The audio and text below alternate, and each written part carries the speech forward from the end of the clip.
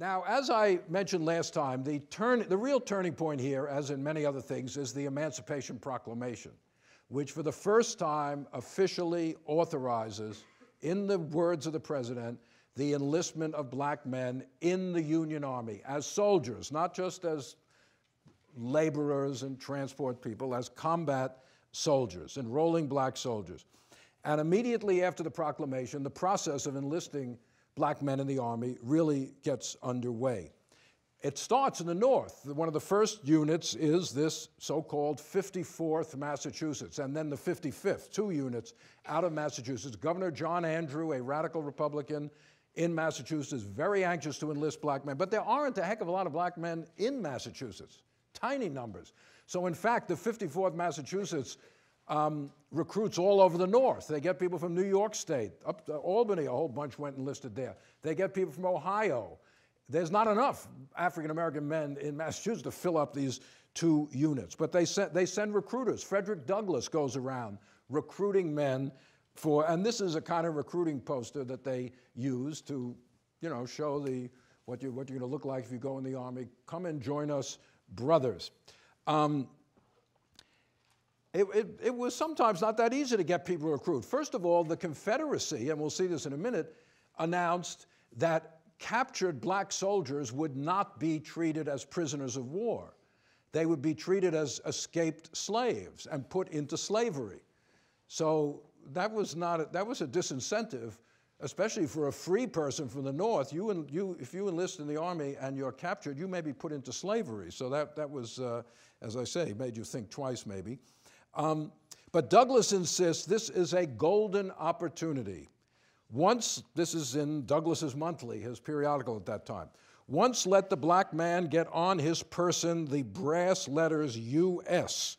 Let him get an eagle on his button and a musket on his shoulder and bullets in his pocket, and there is no power on earth that can deny that he has earned the right to citizenship in the United States. So this is the way to get your rights. Serve in the army, okay? Douglass and other black abolitionists also use another kind of language in recruit, and that is, that can be summarized in his phrase, prove you are men. This is a way to prove your manhood. The manhood of African Americans has been belittled, diminished, denied. Prove that you are men by fighting in the army. This theme of African Americans having to show their manhood is a constant in African American history from this day, from that day, all the way up to Malcolm X, who would talk about this. It's also used in other ways. The Moynihan Report from the 1960s, which argued that, the, that slavery had, quote unquote, destroyed black masculinity, or even just the other day, President Obama with his announcing a specific plan to, um, you know, uplift young black men, uh, to programs to get them jobs and everything, which is fine, they should have jobs. But all of this kind of leaves women out in the lurch. Strong women are seen as a threat to black manhood. The Moynihan report said the problem with the black community is that women have too much strength and men don't have enough, and the government should intervene to uplift. So, you, but you can see this, this is not exactly what Douglass is saying, but this notion of proving your manhood is a theme that runs all the way through the African American experience. And again, it's, uh, whites don't have to prove their manhood somehow. Um, th this is just part of the sort of baggage of racism uh, from slavery. Well, anyway, um, the 54th Massachusetts, which finally enlisted about 1,000 men, under the command of the Boston abolitionist Robert Gould Shaw. Robert Gould Shaw, their departure from Boston in 1863 and was, it was a major event. They paraded down to the dock. There was a great, you know, civic celebration to send them on their way. Um, in July, they took part in this attack on an entrenched Confederate position in South Carolina called Fort Wagner. And um, it was a disaster in a sense that uh, of 600 men attacking Fort Wagner, in, from the 54th, there were people from other units too, uh, 250 were killed, which is an incredibly high death rate, including Robert Gould Shaw, who was killed, uh, you know, leading the charge against this fort. And normally, the, the dead would be buried where they were, but the officers' bodies would be returned to the other side. But the Confederates said Shaw is not an officer because blacks are not soldiers, so they just threw him in a mass grave, his body with the, uh, with the rest of the soldiers. Um, so the, but the, the, the Fort Wagner was a defeat, but it disproved many of the mythologies of black soldiers. They did not run away. They showed great courage. They, they kept moving forward and fighting in a very difficult situation until told to retreat.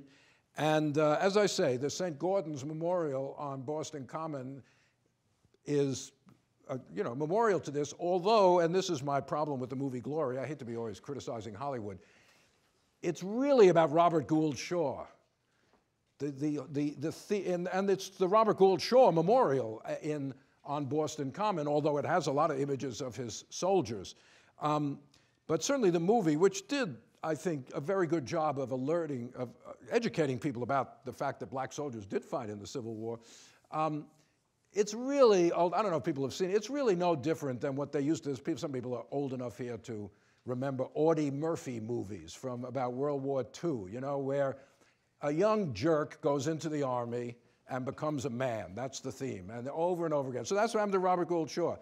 He goes in the army, he's a kind of young, fly-by-night guy, and he becomes a real man, and then he's killed. But the, the black soldiers are kind of the background, so to speak, to the change in Robert Gould Shaw. That's my view of the movie anyway. They're not really the center of the movie, even though it's about their unit. But anyway, I'm not a movie critic, so if you disagree with me, cool. Um, here's another, um, this is another famous photograph of a black unit, Company E, all lined up with their rifles. Um, let's, uh, oh, here we go. These are just, just like, just like white soldiers, they posed for these carte de visite before going off into the army. I showed you some of those of the white. Here's one carte de visite of a, uh, of a uh, black, um, of a black soldier. Let's see if I can find, uh, here's another one. A guy, uh, he's actually a sergeant, I believe, from the stripes on his, uh, on his sleeve here, and he's holding a revolver in his hand. And one more, uh, let's see here, we can find, uh, here we go, the Black Artillery Unit. Here's a black unit operating a cannon uh, in the Civil War. So um, now most, the vast majority of African Americans, of course, resided in the South, and that's where the real recruiting took place. In the, once the Union Army captured Vicksburg in July 1863, the whole Mississippi Valley, basically major plantation area, fell into the hands of the Union, and there, tens of thousands of, the, uh, uh, of African American men were recruited into the Army, or more than recruited. Sometimes they were just grabbed off the plantations and told, You're in the Army now. General Lorenzo Thomas was sent by uh, Secretary War Stanton to oversee recruiting black men, and he raised 75,000 troops by 1864. Uh, uh, he was given a lot of aid by General Grant, who was in command out there. This is one of the differences between Grant and McClellan. They understood the role of the soldier in a democratic society. Remember when Lincoln issues the preliminary Emancipation Proclamation, McClellan basically tells people go out and vote against the Republicans because this is bad. Grant says, what I think about black soldiers is immaterial. This is now the policy of the government. It is my job to enforce that policy. He tells his subordinate, you know, officers, anyone here who doesn't like having black soldiers in the army, resign tomorrow, because this is now the policy of the government. Moreover, they're going to be in the army. They have to be treated like anybody else. They have to be protected. There cannot be any abuse of them. And it's the job of officers to make sure. So Grant said, this is now the policy, and I have to uh, enforce it. And he's in charge of those units in the Mississippi Valley. And in the Mississippi Valley, um, blacks do begin taking part in, in, in combat. Let me, let me see where we can, uh, wait, I'm just trying to find, um, here we go.